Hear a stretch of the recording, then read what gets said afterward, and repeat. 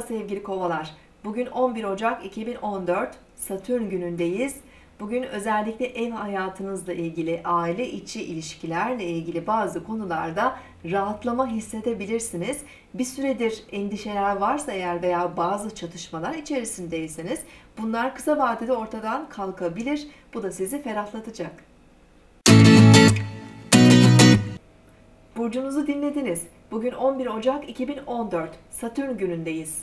Boğa burcunda ilerleyen ay öğlen, öğlen saat 13'te Merkürle üçgen açı yapacak ve ardından boşluğa girecek. Kısa bir süre sonra 14.27'de ay ikizler burcuna geçmiş olacak. Öğleden sonraki saatlerde iletişim hızlanabilir. Bugün Oğlak burcundaki Venüs ve e, Güneş birleşiyor.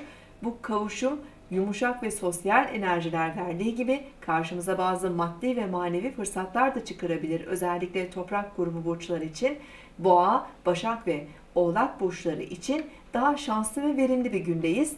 Daha önceden yapılan bazı yatırımlardan ve iş girişimlerinden verimli sonuçlar da alınabilir.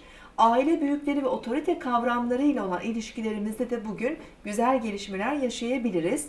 Bugün bir diğer önemli göksel gelişmede iletişim gezegeni Merkür'ün Oğlak Burcu'ndan ayrılıp Kova Burcu'na geçiş yapması olacak. Kova burcuna geçen e, Merkür önümüzdeki günlerde zihinsel olarak daha orijinal, ilerici, bağımsız e, fikirleri e, arttırırken özellikle bilim, teknoloji, bilişim ve internet sektöründeki hareketleri de arttırabilir.